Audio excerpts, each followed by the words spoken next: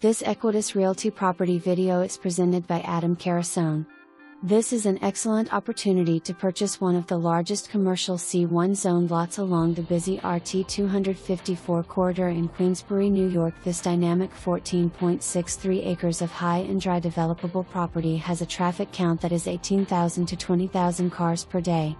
Water and sewer hookup located on adjacent property for hookup. Situated across from Garvey Kia slash VW, this property has long been a destination waiting to be tapped into zoning maps and usage available upon request. For more information, review the details below.